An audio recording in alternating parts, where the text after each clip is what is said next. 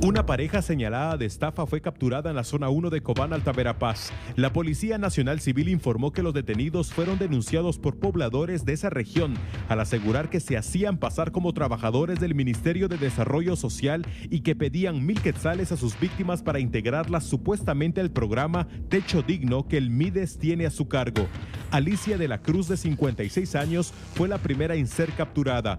Mostró un carné con diferentes logotipos del Ministerio de Desarrollo, pero los agentes comprobaron que era falso. La mujer sostuvo que era trabajadora de dicha cartera y que llamaría a su jefe para sustentar esa versión.